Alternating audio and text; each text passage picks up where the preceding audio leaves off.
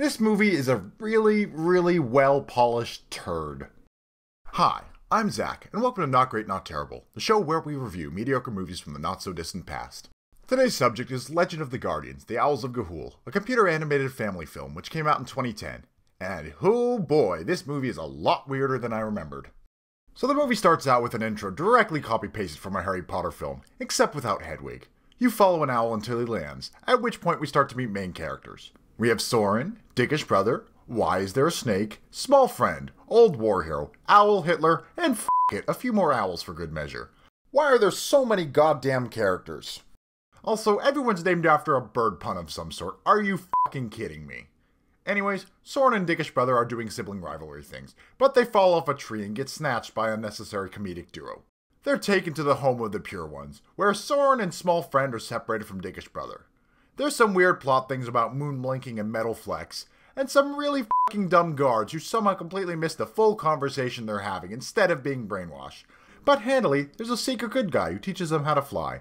But plot twist, Owl Hitler's wife finds out, and Dickish brother is still a dick. But they can fly now, so they leave to find the Guardians, meeting a few more characters along the way, including that fucking snake again.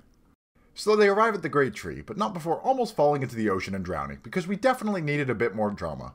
We have some owl politics, a musical montage because why not, and then we cut to Owl Nuremberg, obviously. And then we move on to some more training stuff in the rain, where Soren learns to trust his gizzard. I still have no clue what a gizzard is, but uh, okay, let's go with it. Oh yeah, and it turns out Old War Hero is actually that Old War Hero from the children's story at the beginning, but he's retired now apparently. Anyways, scouts go to the Owl Nazi home base and see the fuckery going on, so a bunch of the Guardians leave to rescue the enslaved owls. But surprise, the unexplained metal flecks from earlier are a secret weapon and trap the Guardians, so Soren and the gang have to go and rescue them. There's a scene with some spectacular fire animation, where that trusting gizzard thing comes back again. The tables are turned, and we get some aerial combat. Dickish Brother comes back, and is just as much of a dick as before, but he's dead now, so don't worry about it. There's a fight with Owl Hitler, Soren wins, and everybody flies home to the Great Tree victorious. Except Owl Hitler's wife survived, and if the movie hadn't mostly flopped, there might have been a sequel. So this movie isn't all bad, but it does have some pretty serious flaws. For starters, the plot of the movie moves along like a freight train. It feels rushed, like they're speedrunning the story rather than actually going in depth.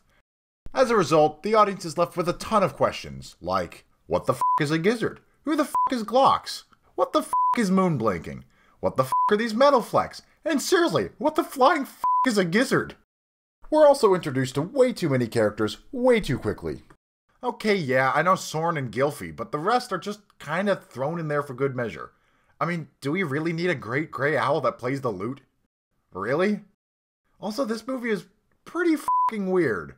Seriously, the whole plot of this movie revolves around owl Nazis.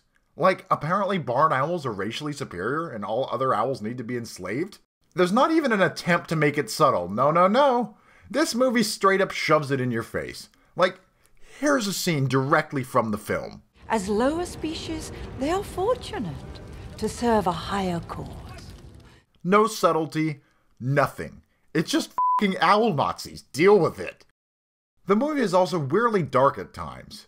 This is without a doubt a really weird tone for a family movie to take, and as a result, everything just feels kinda off.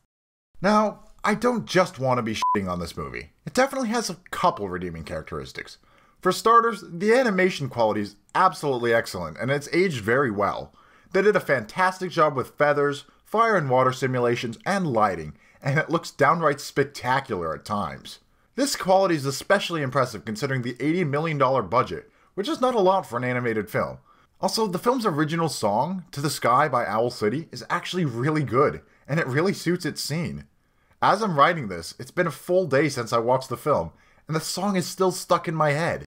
Though, that may be nostalgia talking here, I definitely had that one on my iPod back in the day. And really, even though the concepts this movie covers are rather strange for a family animated film, it's not necessarily even a bad story. It's a bit shallow and a bit rushed, but it's still totally serviceable. So, would I recommend you watch Legend of the Guardians? Honestly, I'm gonna lean more towards a yes here.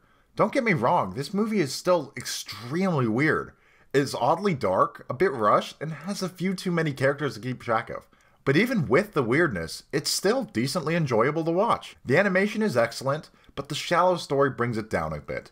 And really, that's the whole point of this series. Looking at stuff that's not great, not terrible. Thanks for watching.